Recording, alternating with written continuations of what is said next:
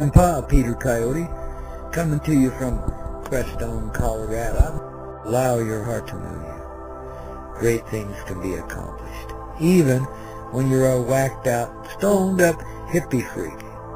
So beautiful. I just started learning how to look into someone's eyes, and it, it was always a hard thing for me to do, but Thank you, thank you, thank you, thank you, thank you, thank you. I love my life, I love my life, I love my life, I love my life. Screw what society tells you. Sorry. These wonders of life that awaits you to explore, all the magic and it's unbelievable. The colors and the smells and oh my god. It gets hard to distinguish. And I know it sounds a little crazy, but it's absolutely true. It gets hard to distinguish the difference between where your legs and where your feet ends and where the board starts. You become this one unit. That's the amazing thing is you feel totally connected. If we become disconnected from the natural world, we lose something magical, something so precious. We lose part of what it means to be human. We protect what we love. You gotta grab the bull by the horns. and that's about what it's like sometimes if you lived a life like mine. But you just gotta just claim it. It's yours. I really cry. Just hundreds of souls united in play. Mama, What? I love you. I love you too. I love you more.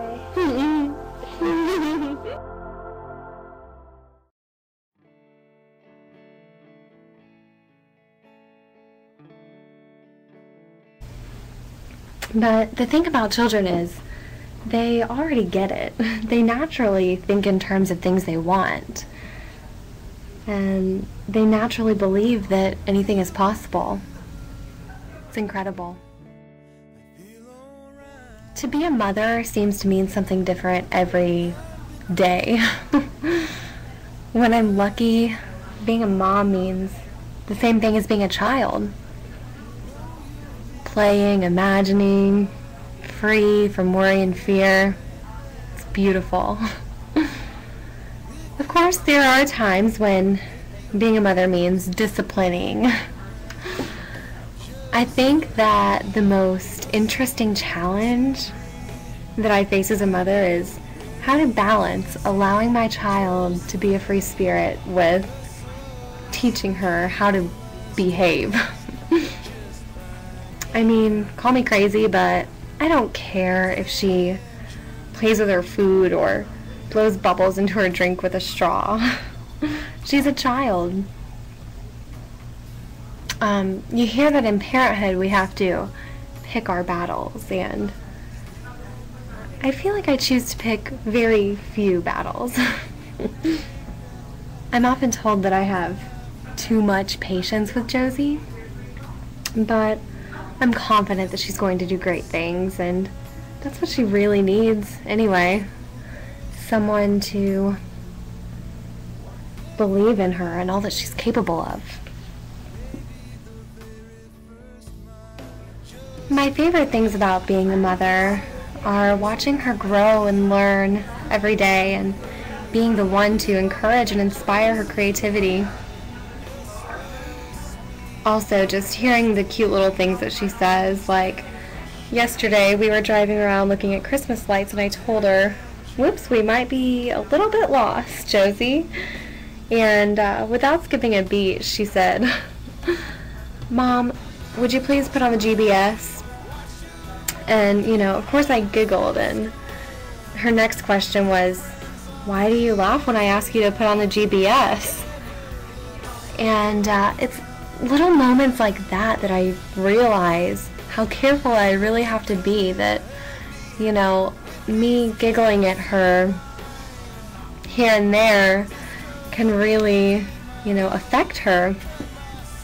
I heard at a conference once that everything that a child from birth to five years old hears, sees, or perceives in any way goes straight to their subconscious mind.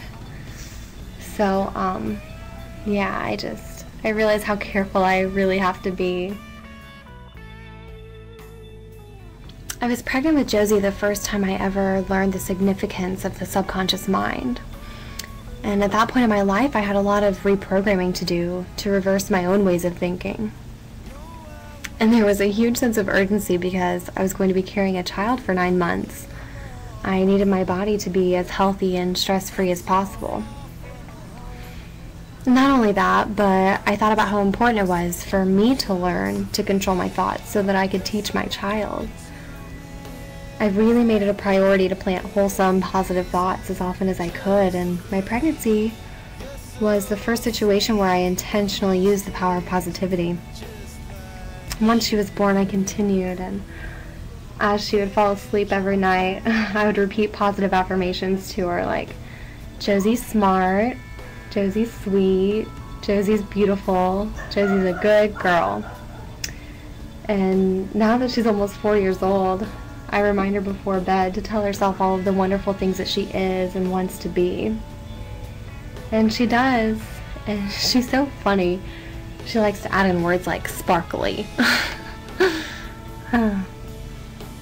but the thing about children is they already get it. They naturally think in terms of things they want. And they naturally believe that anything is possible. It's incredible.